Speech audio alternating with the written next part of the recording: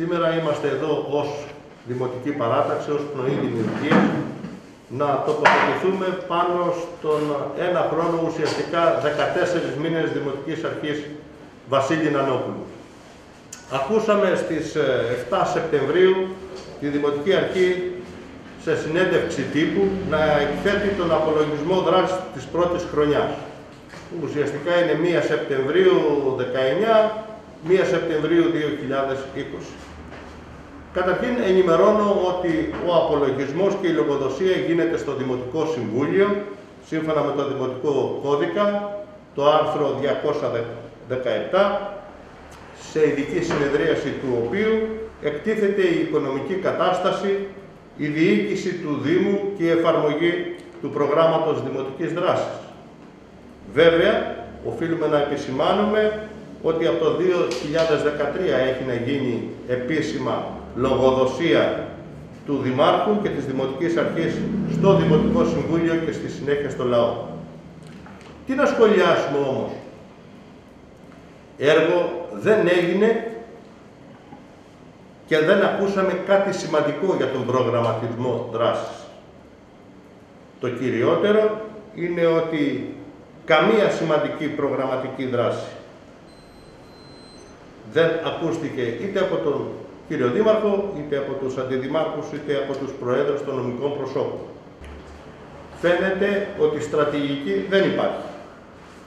Έλλειψη επικοινωνίας μεταξύ των μελών της Δημοτικής Αρχής είναι εμφανής. Τα θέματα είναι ανέτοιμα για να εισαχθούν στο Δημοτικό Συμβούλιο ή στην Οικονομική Επιτροπή με αποτέλεσμα πάρα πολλά θέματα είτε να καθυστερούν είτε να αποσύρονται την τελευταία στιγμή από την ημερήσια διάταξη.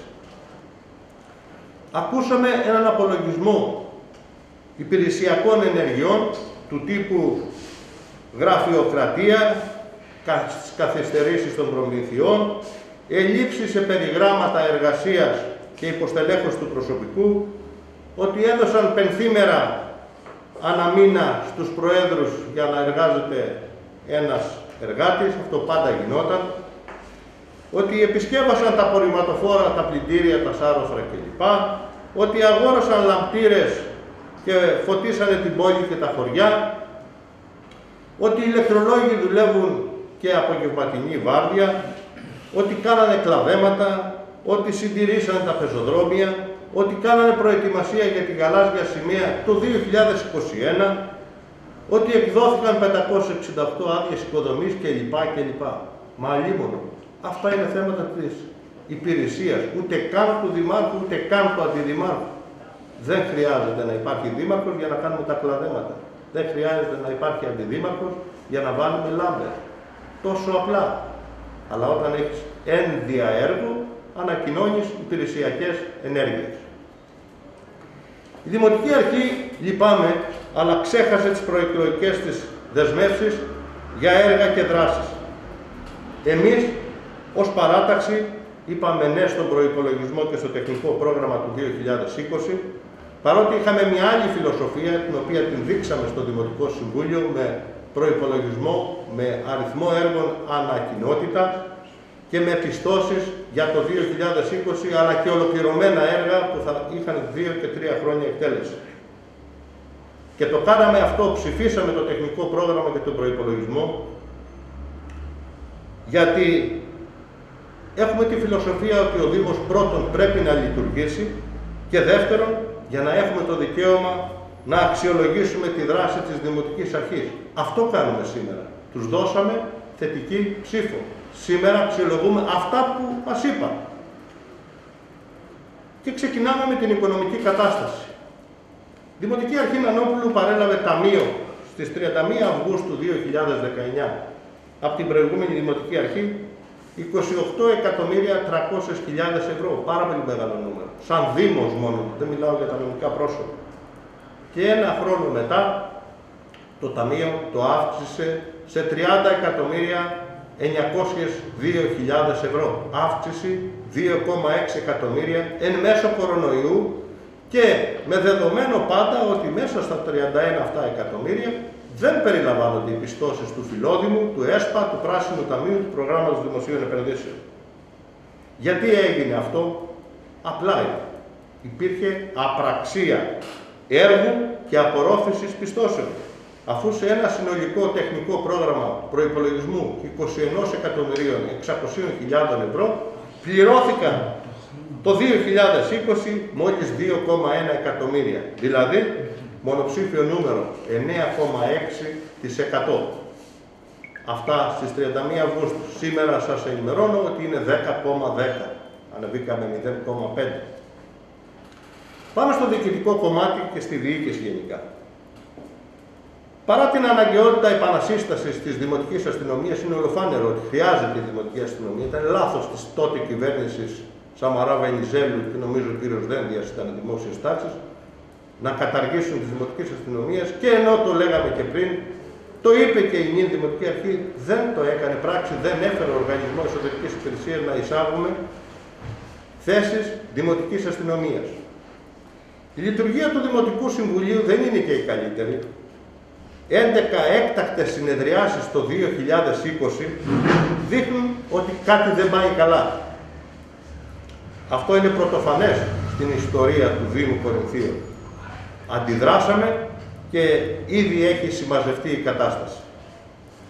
Για το νέο διοικητήριο δεν έχει δοθεί ένα σαφέστατο μήνυμα από πλευράς Δημοτικής Αρχής στην Περιφερειακή Αυτοδιοίκηση ότι η μόνη λύση είναι η χωροθέτηση και κατασκευή του στο στρατόπεδο του έκτου συντάγματος πεζικού.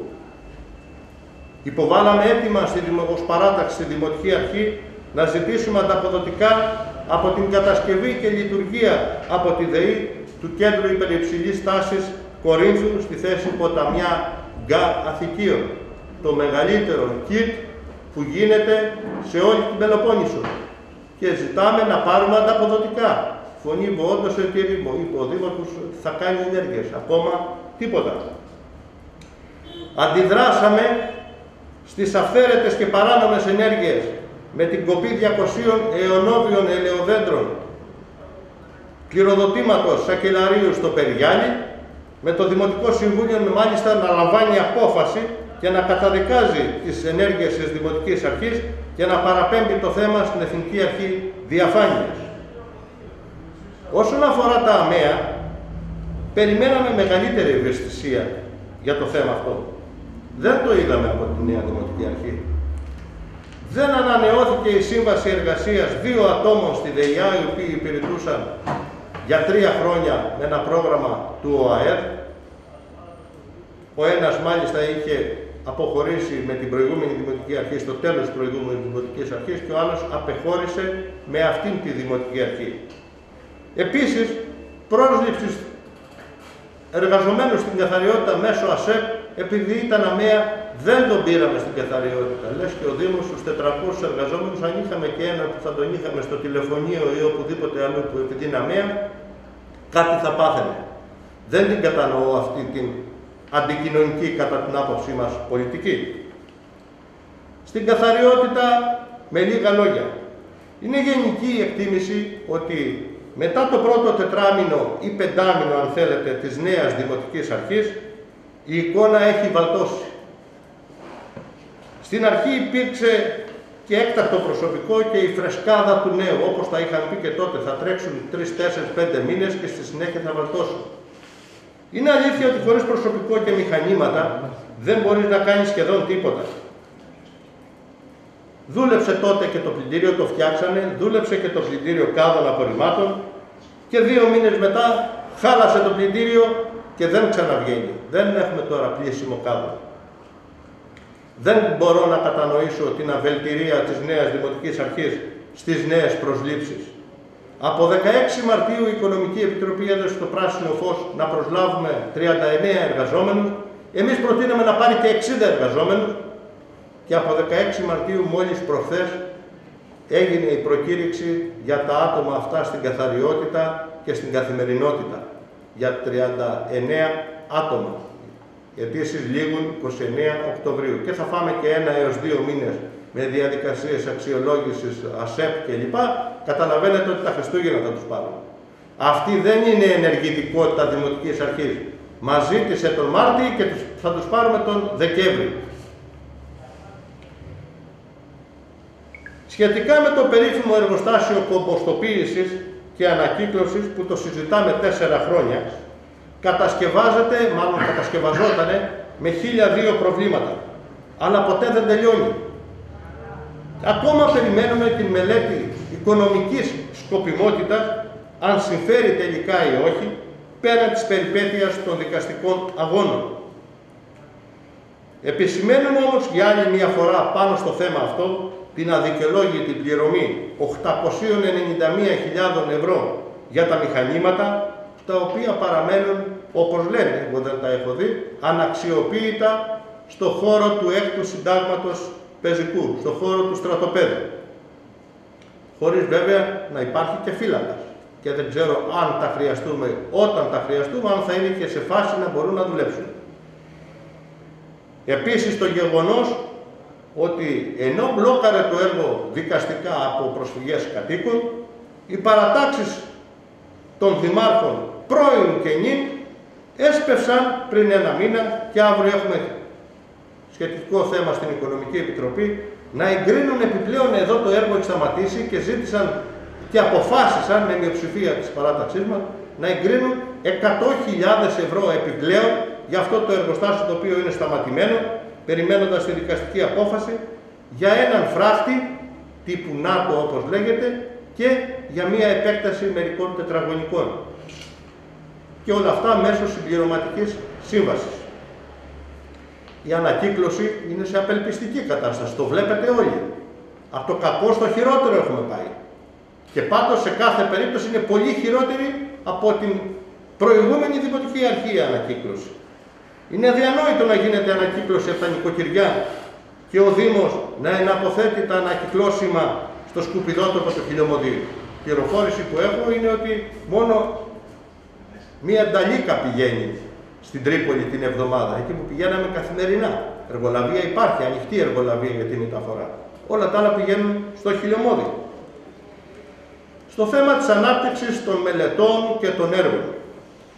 Μιλάμε για μονοψήφιο αριθμό απορρόφησης πιστώσεων όπως σας προείπα, 9,6%. Κανένα νέο έργο δικό της από τη φάση της μελέτης δεν έχει συμβασιοποιηθεί από την νυν Δημοτική Αρχή. Όλα είναι, όλα απολύτως είναι έργα της προηγούμενης Δημοτικής Αρχής, είτε είχε συνταχθεί, ήταν στη φάση μελέτης, είτε ήταν, είχε γίνει η δημοπρασία, είτε είχε υπογραφεί η σύμβαση, είτε ήταν στη φάση εκτέλεσης του έργου. Οι καθυστερήσεις δε στην έναρξη νέων έργων ή στην υλοποίηση παλαιότερων είναι πολύ μεγάλες. Αλλά αλλού δικαιολογημένες και αλλού οι περισσότερες αδικαιολόγητες. Δηλώσαμε ότι το τεχνικό πρόγραμμα του 2020 είναι φτωχό και άδικο. Γιατί είναι φτωχό και άδικο, γιατί είναι φτωχό γιατί είναι λίγα τα νέα έργα; Και άδικο γιατί οι μισές και πλέον κοινότητες δεν έχουν ενταχθεί με κανένα συνεχιζόμενο νέο έργο. Και αναφέρω χαρακτηριστικά την Κλένια, τον Κόρφο, την Ξυλοκέριζα, τον Σολομό, τον Λέχιο, τον Άσο, τον Άγιο Ιωάννη, τον Κουταλά, το Περιγιάλι, το Αγγελόκαστρο, το Κατακάλι, τα Αθήκια, το Χιλιομόδι, τον Άγιο Βασίλειο, τον Κάτω Άσο, την Αρχαία. Όπως είδατε είναι πολύ περισσότερα από τα μισά χωριά που δεν έχουν ούτε ένα έργο. Δυστυχώς επιβεβαιωθήκαμε με αυτά που λέγαμε στο τέλος του 19 για τα λίγα έργα που πραγματοποιήθηκαν. Πέρασαν 14 μήνες και ασφαλτοστρώσεις στους κατεστραμμένους δρόμους εντός πόλεως Κορίνθου, οι οποίοι ήσαν κατεστραμμένοι όταν παρέλαβε η Δημοτική Αρχή, 14 μήνες και μόλις τώρα αρχίζουν δειλά-δειλά να μπαίνουν μέσα στην πόλη με υπάρχουσα εργολαβία από την προηγούμενη Δημοτική Αρχή προϋπολογισμού μελέτης 4.600.000 ευρώ.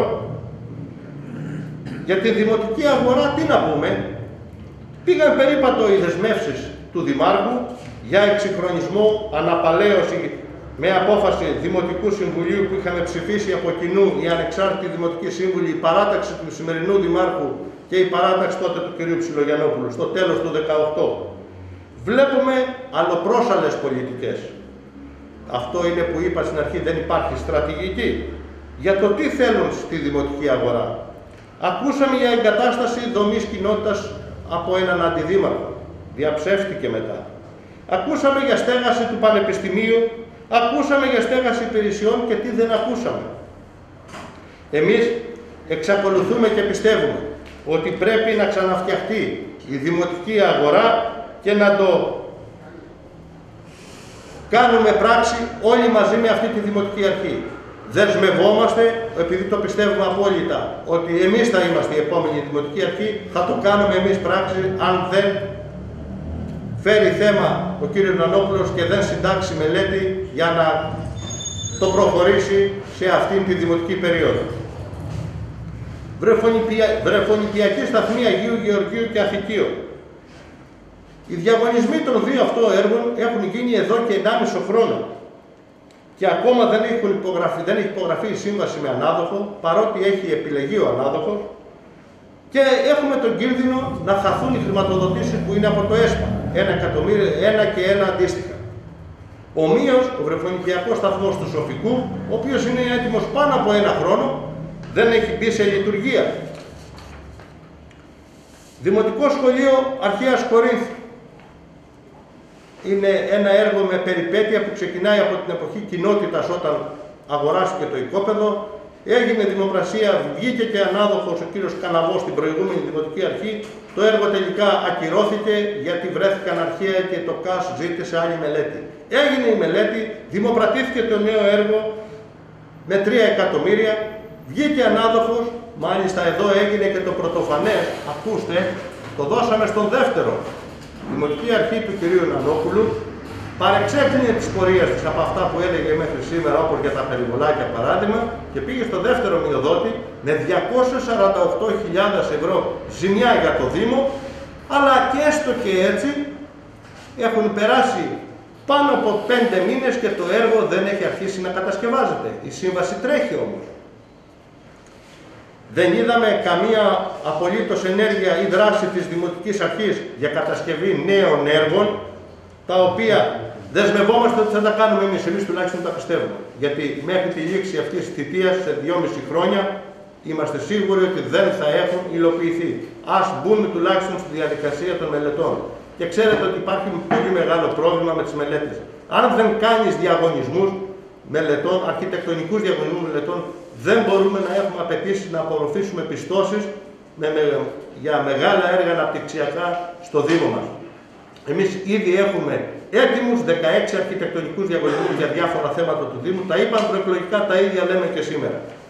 Ποια είναι αυτά τα θέματα; Νέο κλειστό γυμναστήριο. Μηδέν στο Πηλίκον. Πνευματικό κέντρο Λεχαίου. Τίποτα. Μουσείο Μικρασιατών και Προσφυγικών Κοιμηλίων. Απολύτως τίποτα. Ξενή αρχαίας Κορίνθου, μηδέν. Διαμόρφωση εισόδων πόλεως Κορίνθου, τίποτα. Θέατρο εξαμιλίων, τίποτα. Θέατρο Νικηταρά Χιλιομοδίου, ακόμα περιμένουμε την ολοκλήρωση της μελέτης να το δημοπρατήσουμε με χρηματοδότηση από την αναπτυξιακή Βόρεια Πελοποννήσου, από το Λίντερ. Ανάπλαση της παραλίας Καλάμια και Κανταρέ. Το γήπεδο του Περιγελίου. Πήγαν έκοψαν τις ελιές και λένε ότι θα φτιάξουν γήπεδο. Ούτε μελέτη υπάρχει, ούτε έργο υπάρχει, ούτε τίποτα. Πνευματικό πολιτιστικό κέντρο Άσου, τίποτα. Μελέτη υπάρχει, 820.000 ευρώ, τίποτα. Ανάπλαση Ποσειδονίας, τίποτα. Ανάπλαση κάτω Άσου, μηδέν. Τουριστικό φλίσβου, έγινε η αναθεώρηση του παραλιακού και παραλεμάτιου, είναι έτοιμη πλέον, δεν κολλιόμεθα να εκδώσουμε άδεια και να φτιάξουμε τουριστικό περίπτερο, όπως προβλέπεται από το σχέδιο πόλης απέναντι από τη λέσχη αξιωματικών, στο φλίσμο. Μαρίνα Κόρφου, απολύτως τίποτα. Παραλιακό μέτωπο, μέτωπο Λουτρών Αλμυρής, τίποτα. Παραλιακό μέτωπο Περιγιαλίου Λεχαίου, απολύτως τίποτα, ούτε μία μελέτη. Πάρκο πρόνοια στο συνοικισμό, κάτω από τον παιδικό σταθμό, εγκαταλελειμμένο, τίποτα, καμία ανάπτυξη.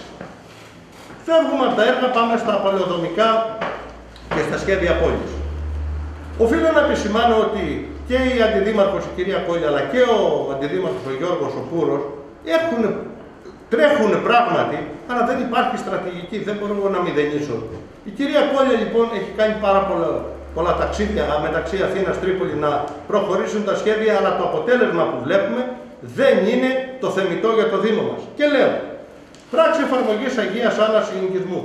Ένας χρόνος και τώρα έφυγε για την Τρίπολη. Θα περιμένουμε άλλα δύο χρόνια. Γιατί θα περιμένουμε, το ένα είναι να η Τρίπολη να αξιολογήσει τις ενστάσεις, να εγκρίνει τελικά ο Περιφερειάρχης την πράξη εφαρμογής Αγίας Άννας Συνοικισμού, ένα θέμα που είναι από το 2007 και στη συνέχεια η πράξη αυτή να πάει στο κτηματολόγιο, δεν είναι και εύκολο πράγμα, να πάει στο κτηματολόγιο να καταχωρηθεί. Πάρα πολύ δύσκολη δουλειά. Και στη συνέχεια να βγουν οι τιμές μονάδος από την αρμόδια Επιτροπή Εφορίας, Δήμου, Υπουργείου κλπ. Με τι τιμές θα είναι η εισφορά γης και η εισφορά σε χρήμα. Καταλαβαίνετε ότι πριν από δύο χρόνια δεν μπορούμε να έχουμε τέτοιο αποτέλεσμα. Περιοχή Βοσέικα, σχέδιο πόλης επέκταση περιοχή Βοσέικα, που εκκρεμεί και το κλειστό γυμναστήριο και η περιοχή των φυλακών και η περιοχή του Βοσέικο. Το ακούμε δυόμιση χρόνια ότι είναι στο Υπουργείο και τρέχει μεταξύ Υπουργείου Υποδομών και Υπουργείου και Συμβουλίου της Επικρατείας. Κανένα αποτέλεσμα μέχρι σήμερα. Σχέδιο πόλης Ποσειδονίας δεν το έχουν ακουμπήσει ακόμα. Γενικό πολεοδομικό σχέδιο. Γνωρίζετε ότι έπεσε το γενικό πολεοδομικό σχέδιο επειδή δεν είχε γίνει στρατηγική μελέτη περιβαλλοντικών επιπτώσεων. Αργήσαμε πάρα πολύ να δώσουμε τη μελέτη σε μελετητή, ο οποίος πράγματι ταχύτατα την έφτιαξε, ο κ. Φωτόπουλος, αλλά χάσαμε τέσσερις μήνες με την προηγούμενη χρονιά, γιατί γνωρίζετε και τις διαδικασίες προπολογισμού και τεχνικού προγράμματος, και χάσαμε τον προπολογισμό του 19, πήγαμε τον Μάιο του 20. Σήμερα η στρατηγική μελέτη είναι στο Υπουργείο Υποδομών, ξεψαχνίζεται, βοηθάει και ο κύριος Ταγαράς όπως ενημερώθηκα για να προχωρήσει γρήγορα, αλλά και στη συνέχεια έχουμε και άλλα πράγματα. Πρέπει να γίνει διαβούλευση στην πόλη, απαιτούνται διαδικασίες. Απόφαση Δημοτικού Συμβουλίου, απόφαση του ΣΥΠΟΘΑ, Συμβούλιο Πολυδομικών Θεμάτων και στη συνέχεια απόφαση Περιφερειάρχη. Καταλαβαίνετε ότι όλα αυτά δεν μπορούν να γίνουν πριν από 5-6 μήνες τρέχοντας. Και βέβαια ΣΚΟΑΠ Τενέας και Άσου Λεχαίου πρόσφατα δόθηκαν με προγραμματική σύμβαση στο δίκτυο πόλεων βιώσιμη πόλη να εντοτρέξουν με προθεσμία ενός χρόνου. Προσωπική μου άποψη είναι ότι θα χρειαστούν αναθεώρηση διότι όλα αυτά είναι με τις καποδιστριακές δημοτικές αρχές και σήμερα ήδη υπάρχουν αλλαγές σε αυτά τα στοιχεία. Ενώ ένα θέμα που θέσαμε επίσης για το σχέδιο πόλης Μπαχαρίστρας που οι τιμές ήταν υπερβολικές, 130, 135 και 140 ευρώ το τετραγωνικό, ζητήσαμε να κάνει παρέμβαση ο Δήμαρχος στην, ε, στα Υπουργεία να δώσει τη δυνατότητα να μειωθούν. Μέχρι σήμερα δεν έχει γίνει απολύτως τίποτα και γι' αυτό. Πάμε σε ένα νομικό πρόσωπο τώρα στη Δημοτική Επιχείρηση Ίδρυσης Αποχέτευσης. Και εδώ το έργο αγαπητοί συμπολίτες, είναι ελάχιστο. Το νερό του βιολογικού καθαρισμού που είναι προσάρδευση στις περιοχές πεδίου βολής, ε, Ξαμιλίων, Ξυλοκέριζας, Αρχαίας Κορίνθου, Κουτουμάτσας, Μαγούλας έχει εκτελεστεί μόλις 60%. Το έργο είναι έργο που ξεκίνησε από την προηγούμενη Δημοτική Αρχή και οφείλουμε να λέμε και ένα μπράβο και στους προηγούμενους που είχαν συμβάλει. Εγώ ήμουν πάντα υπέρμαχος αυτού του έργου, έχω συμβάλει όσο μπορούσα. Δυστυχώς έβγαινε και εδώ μεγάλη έκπτωση 65%. Δηλώθηκε αδυναμία από τον εργολάβο, ουσιαστική, όχι τυπική, για να προχωρήσει το έργο και περιμέναμε 30-40 χιλιάδες λογαριασμό. Πότε θα πάει στο Υπουργείο Υποδομών να γυρίσει να πληρωθεί και να παραγγείλει νέα υλικά, εν πάση περιπτώσει μόνο 60%. Είχε προθεσμία 12 μήνες, έγινε η σύμβαση αρχές του 18, έχουν παρέλθει, παρέλθει 2,5 χρόνια και το έργο έχει εκτελεστεί στο 60%. Και από 17 χιλιόμετρα έργο και παραμένουν τα δύσκολα τώρα. Τώρα δεν είναι τα εύκολα. Γιατί είναι οι βάνες, είναι οι αντλίες, είναι όλα αυτά τα πράγματα τα οποία είναι και κοστοβόρα. Και είδα προχθές τρέξανε και η νυν και η πρώην Δημοτική Αρχή, καλά κάνανε, ας τρέχουνε, να δείξουν ότι το νερό θα είναι στο, στους πολίτες έγκαιρα. Πριν από ένα χρόνο δεν μπορεί να έχει ολοκληρωθεί το έργο, ενημερώνω τους συμπολίτες μας, για να μπορούν να πάρουν νερό να αρδεύουν. Θα αρδεύουν μόνο στο πεδίο βολής, όσοι αρδεύουν με τον τρόπο αυτό. Ούτε κανονισμός άρδευσης έχει ψηφιστεί στην Δημοτική Επιχείρηση Ίδρυσης Αποχέτευσης πώς θα διανέμεται το νερό, αν θα πληρώνουν ή δεν θα πληρώνουν. Αποχετευτικό λιμάτων. Είχαμε τρεις εκκρεμότητες. Ένα είναι το παραλιακό μέτωπο Άσου Λεχαίου, το δεύτερο του Σαρονικού και το τρίτο της Μεσόγειας περιοχή Ανθικίων, ε, Ανθικίων και Τενέας.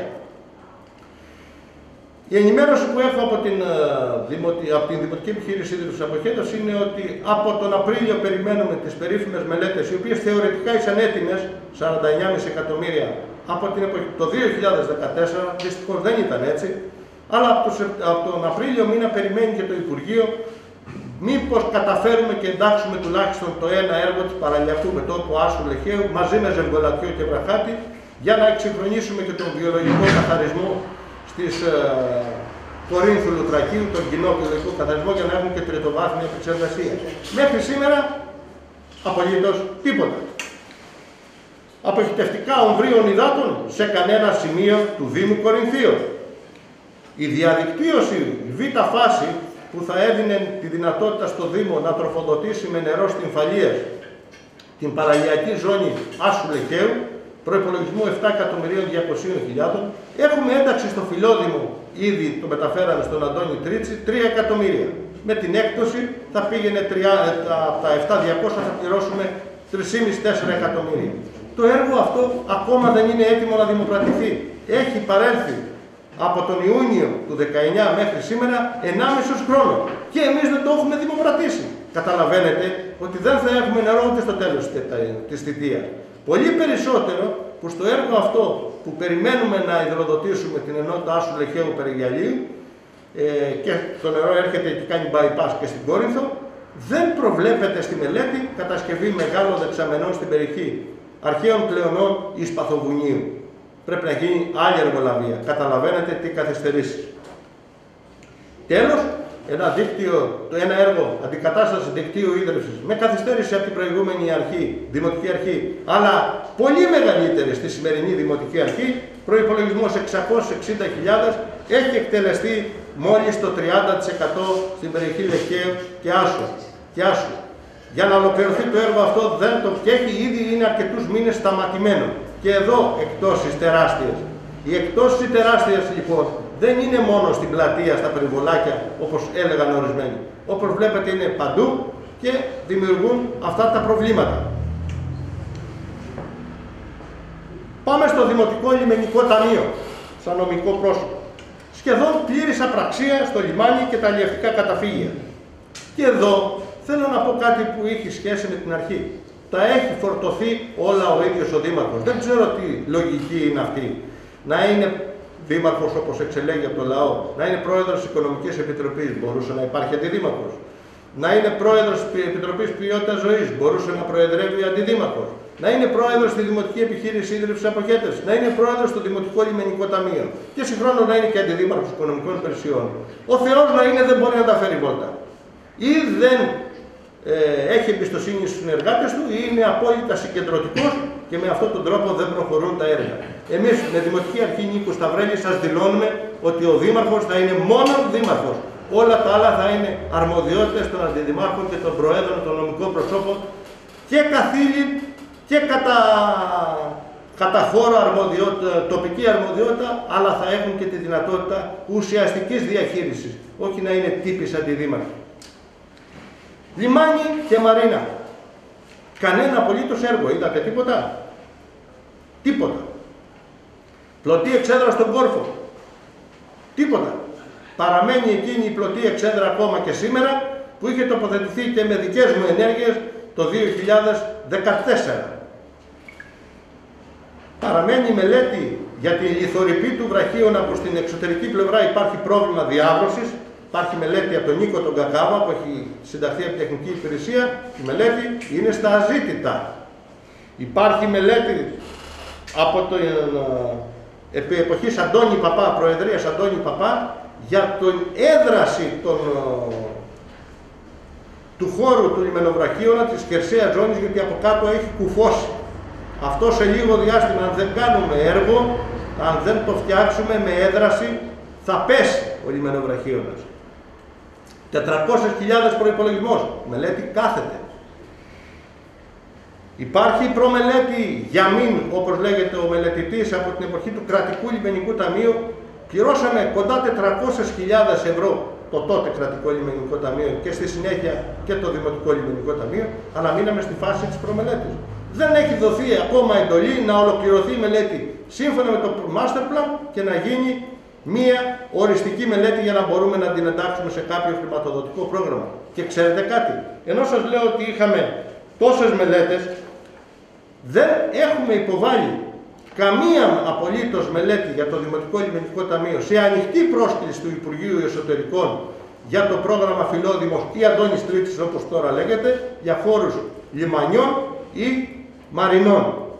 Δεν έχουμε κάνει τίποτα. Άλλη μελέτη, 800.000 έτοιμη, έχει έρθει και η κυκλοφοριακή μελέτη, μελέτη Καραΐσκου, της λέω όποιος έχει συντάξει είναι ο πρώην Διευθυντής Τεχνικών Υπηρεσιών. 800.000 έτοιμη μελέτη. Πεζοδρόμηση της οδού Κροκυδά από την Ομαρχία, αυτό το κομμάτι μέχρι την Αγίου Νικολάου και της Αγίου Νικολάου από την Κροκυδά μέχρι την Περιάνδρη. Ούτε αυτό έχει αγγιχθεί. Και βέβαια δεν μιλάμε για έργα στο, στα αλλιευτικά καταφύγια κάτω Άσου και Κόρφου, απολύτως τίποτα. Και για να μην είμαι μηδενιστής, έγινε με, ένα, με, μια, με έναν εξκαφέα η εκβάθμιση του αλλιευτικού καταφυγίου του κάτω Άσου για να μπορούν να εξυπηρετούνται και σωστά το κάνανε με μία ημέρα, δηλαδή λύθηκε το πρόβλημα που δεν λυνόταν τόσα χρόνια δικαιολόγητα, κάνανε εκβάθμιση για να μπορούν τα τέσσερα αλλιευτικά σκάφη της περιοχής να διευκολυνθούν. Και πάμε βέβαια στο περίφημο θέμα του κρούας γεροπλοίου.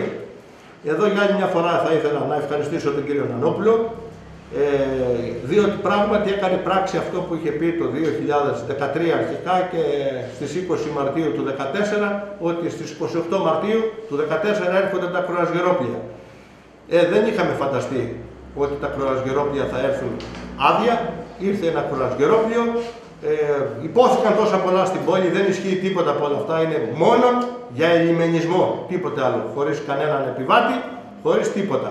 Είναι για ένα χρόνο η απόφαση του Διοικητικού Συμβουλίου του Δημοτικού Λιμενικού Ταμείου, ήρθε πρόσφατα και εκτάκτος, μία απόφαση που λήφθηκε με 3-2 ψήφους κατά πλειοψηφία, Μειοψήφισαν οι εκπρόσωποι της παράταξής μας, ο κύριος Μουρούτσος και ο κύριος Μιχαλόπουλος παράταξης, της ε, μειοψηφίας θα έλεγα, και έλειπε ο κύριος Λιμενάρχης, ο πλέον αρμόδιος να διαφωτίσει και το σώμα, και έλειπε και ο αντιπρόεδρος, ο κύριος Λουζιώτης.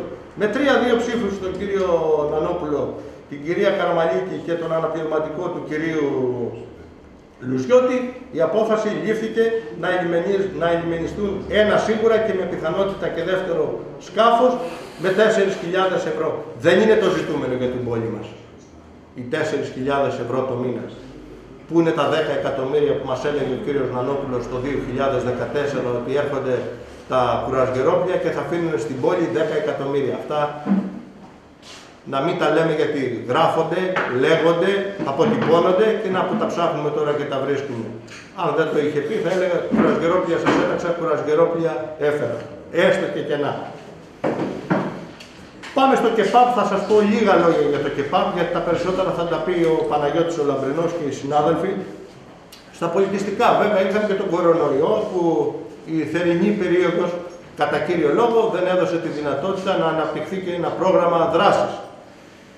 Όμως, στον αθλητισμό δεν έχουμε κάνει απολύτως τίποτα. Είπαμε κανένα νέο κλειστό γυμναστήριο, καμία αγορά ή του γηπέδου, του στρατοπέδου, τα 10 στρέμματα που μας δώσαν, ήρθε θέμα, αποδεχτήκαμε τα 10 στρέμματα και μας είπε ο κύριος Δήμαρχος ότι δεν θα κάνουμε καμία αθλητική εγκατάσταση, μα υπάρχει απόλυτη ανάγκη για ένα ποδοσφαιρικό γήπεδο, για να αγοράσουμε ένα χώρο ή να μισθώσουμε ένα χώρο, ούτε αυτό έγινε, δεν επαρκούν στα σωματεία που υπάρχουν.